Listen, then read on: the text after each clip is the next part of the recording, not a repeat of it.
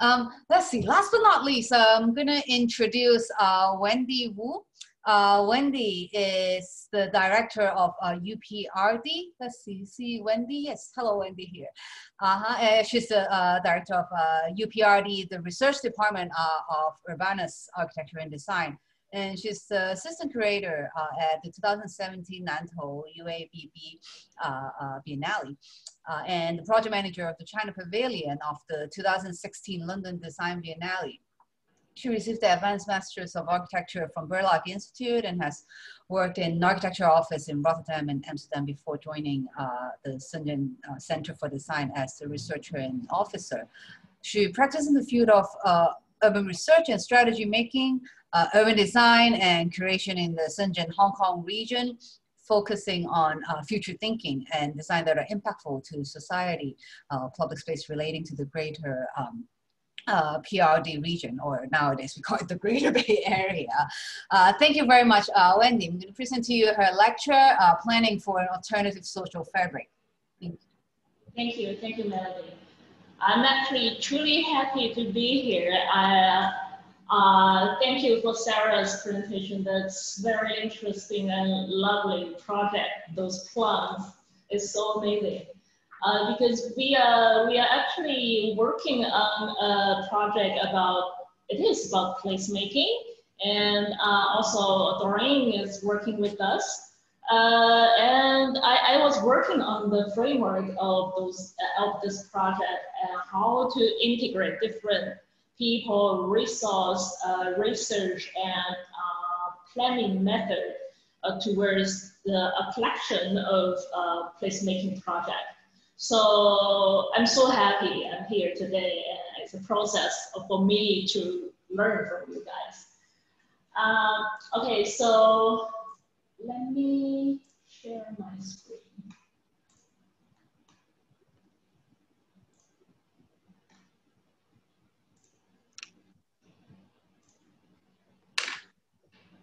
Okay. So uh, uh, yeah, planning for uh, alternative social social fabric, uh, especially for Shenzhen.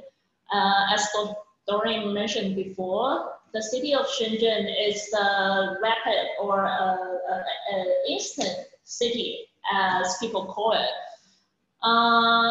after the China's open door policy, uh, the whole city is following the, the slogan of time is money, efficiency is life. So people have the dream of I'm going to be rich. And the whole city is rushing towards uh, a very rapid urbanization. Only 40 years uh, uh, of development, the, the city is going through those process of great leap forward.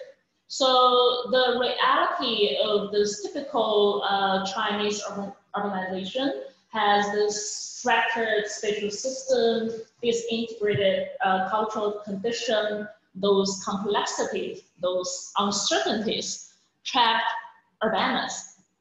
Because this is not only in the design practice, it's also think tank, uh, we uh, do want to be uh, act like uh, urban curator and mediators. And also we have this UPRD as uh, uh, a platform for program re research and design. And hopefully through this platform, uh, we would do uh, uh, even more diverse practice within architectural field in this Great Bay Area. So uh, first, I'm going to uh, go through uh, several projects. Uh, Tulou, one of our most uh, well-known projects. Uh, we bring this condition of collective living into the city of Foshan, next to Guangzhou, as the collective environment for those lower income people, affordable housing uh, although now it has been transformed into uh, Boyu, the, the apartment by Vanke. Um, the, the collective living form uh, we studied uh, is not only about one architectural project actually, it's more of an urban strategy that we do want to bring these prototypes into different corners, leftover space uh, of the city. So it's an urban strategy. As those people, uh, we have so many uh, immigrants uh, in not only Shenzhen, but also uh, Guangzhou and other area. And through those years, uh, those immigrants has transformed from uh, the people on the left uh, to on the right side. And the average age is, sorry for this number, it's an old number, but uh, right now is 32.5 years old, the average age. Uh, the, the condition of those young people, the, the, they have to bear so much pressure for living uh, and Shenzhen has even more pressure than Hong Kong. Uh, Hong Kong is uh, 64 and Shenzhen is 72. That you have to spend so much of your salary into your rentals. So we'll, we'll look back into the city. We have on the left side uh, those typical urban villages. On the right side is those luxury villas. This is the real photo. Uh, so how would you choose? Where do you live? They used to live, those young immigrants, they used to live in urban villages, but now uh, those villages is uh, being uh, demolished. And those uh, work-life balance line is been pushing forward further and further away from the city center. So the proposal we made uh, for the London Biennale is called density. Uh, basically, uh, we uh, gather all those 11 uh, uh, districts, compile it into a very gigantic block. Uh, and hopefully those, uh, those blocks, those density prototype would, um, would uh, facilitate those young people in, in Shenzhen that uh, the, the, the, city would have those polycentric uh, urbanism. But that's the proposal. Whereas in uh, reality, this is uh, Baishizhou, one of the largest urban villages in Shenzhen, uh, where it, it provides affordable living environment, uh, apartments, but today is under uh, demolition.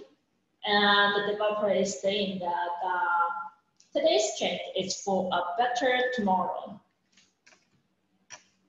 And also, those uh, mm, uh living uh, uh, environment in Hubei, this is Hubei village, it's also been transforming into those typical towers and shopping malls. So uh, this is uh, one typical uh, urban fabric now in Shenzhen. And on the other side, uh, those urban villages or alternative uh, urban fabric, how would we uh, build it or how would we help to maintain it? can different fabric be coexist together? So Nantou. Nantou is where we have a, a urban design project, also with a curating project. Um, it used to be the, the gardening center uh, for the whole region. Uh, the, on the left side, the red part indicates the, the, the border of Hong Kong. Um, so, but today, it used to be Old Town, but today it's a typical urban village like this. And it has this two reality of the Old Town of, and village.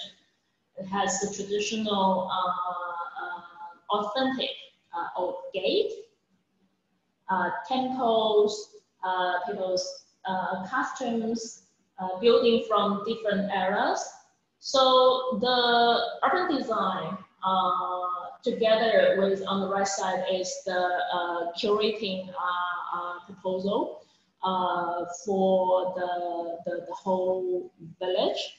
So we combine these two And we list out uh, different types of intervention, including architectural renovations, uh, of course, uh, exhibition of uh, panels, scenarios, discussions, and also invite other resource and de designers, community makers to participate in this event. So for the this, uh, the Central Plaza, it used to be a, a, gathering place for all the people in this village. Um, we, uh, we planned for a, a series of uh, uh scenario events, public space uh, through this main street, uh, trying to connect different parts of the neighborhood, also to provide um, different event space.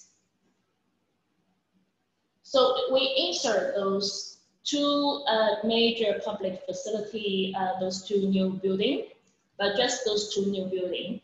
Um, hopefully that uh, uh the, vill the villagers and the tenants and the future uh, uh, newcomers would collaborate and be together within one space. This is the bookshop we have during the, the Biennale. And also on the main street, uh,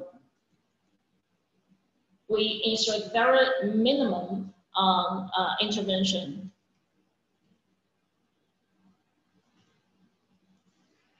And also for the factory area, uh, by uh, inviting the, the Biennale, it transformed into a different event space uh, through the uh, project and installation from uh, designers. And also this is the, the exhibitions within the factory. And also this is a quite interesting project we, we proposed. it's called Posted that we opened up some um, dialogues uh, uh, of different topics uh, in an artistic way and uh, try to uh, put it everywhere in the village uh, in a way talking to the uh, tenants and uh, visitors. And those events uh, with the village them, villagers themselves.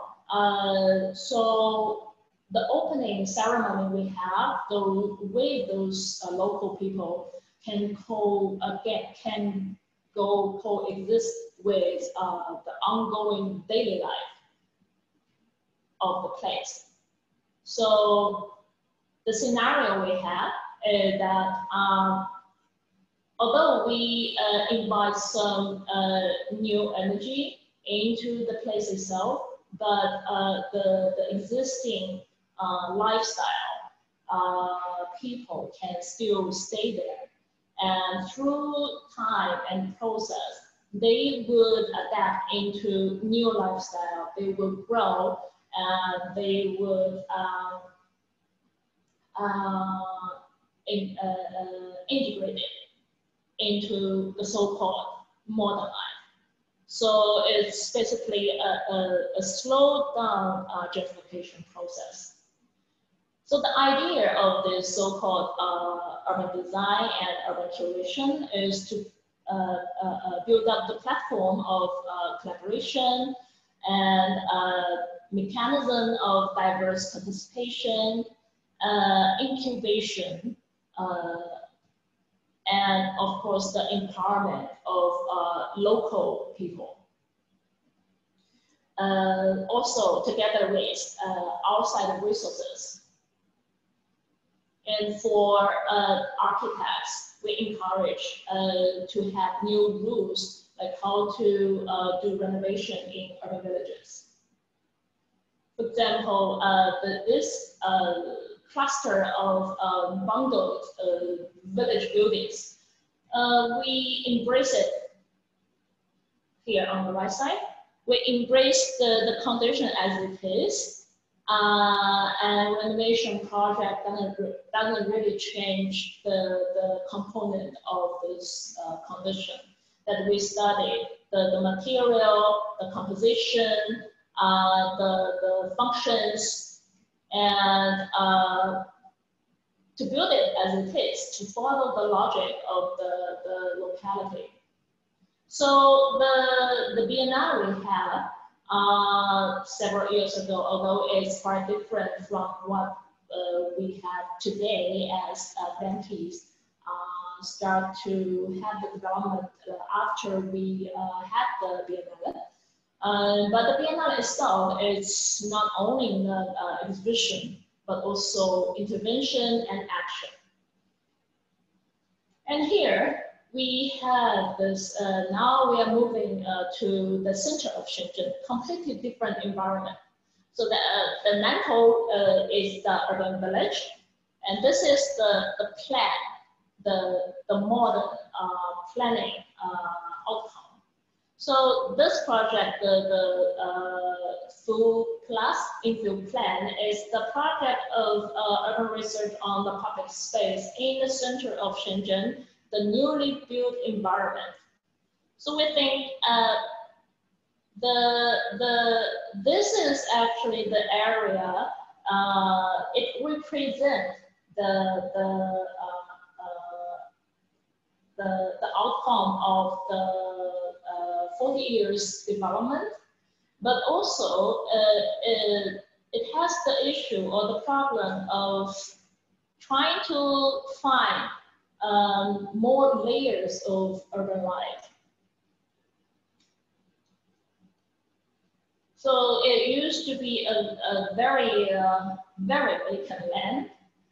And through those years from, uh, you can see the photo from 1996, it, it, it, has nothing. And now we have a new city center, a CBD area. But those very nice architecture project on the right side, it doesn't really have those uh, like people on the left side waiting to enter the library. We have the building, but we don't have the, uh, the place.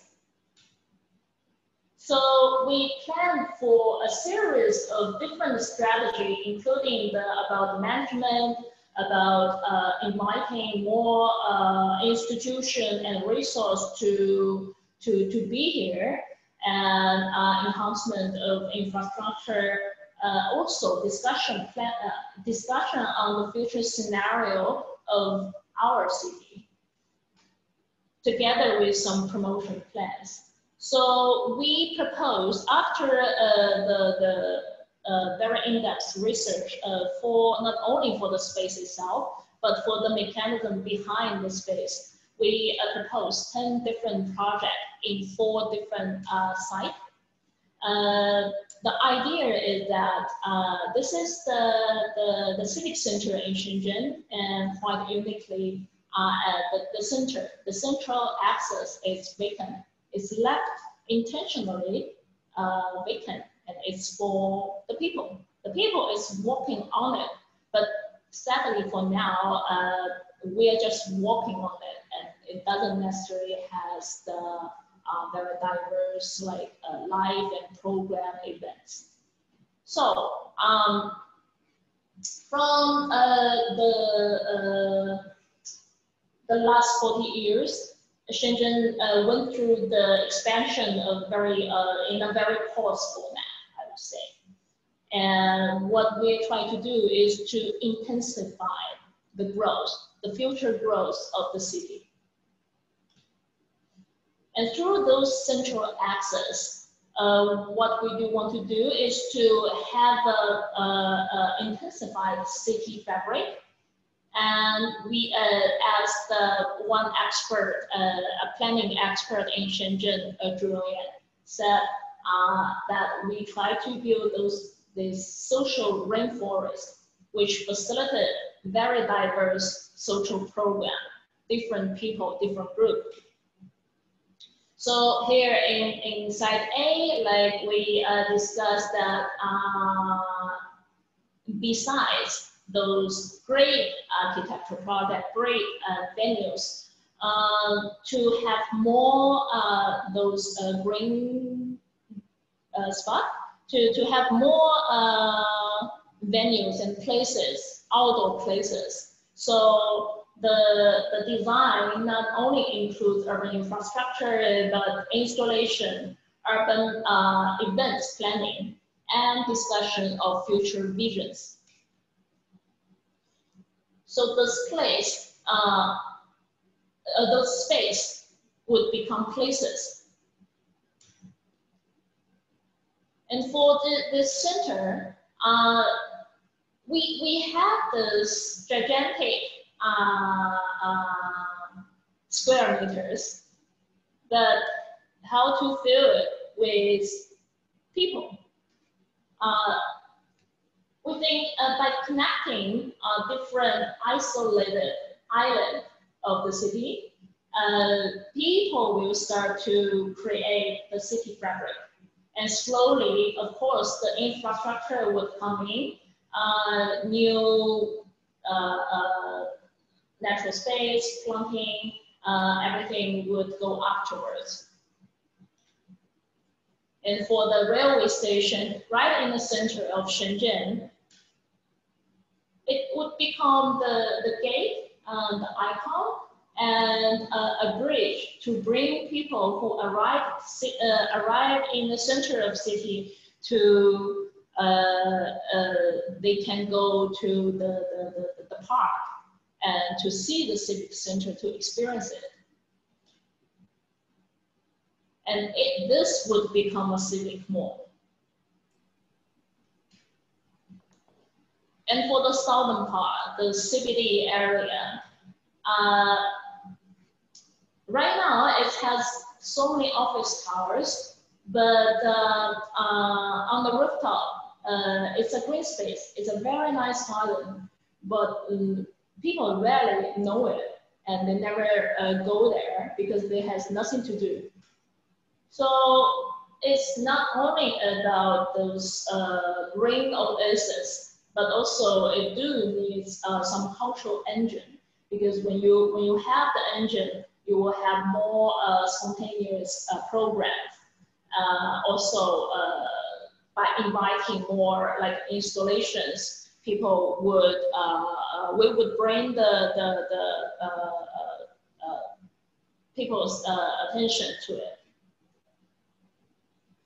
and this new uh, add-ons uh, renovation on top of existing built environment uh, would uh, be acting like the cultural engine and uh, um,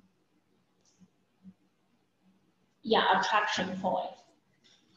Wendy, I'm very sorry to interrupt, but I think we're running a little bit short on time and yeah, Okay, sorry. Thank you very much. Yeah, and hope we can we can continue a lot of these like during the discussion time as well. But yeah, I'll let you finish. Yeah.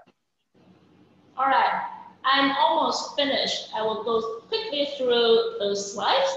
So yeah, uh, different scenarios and events uh, and uh, those uh, promotion uh, of awareness of uh, breaking for experiment, patch for density, bring more events and stage for alternatives and act for autonomy.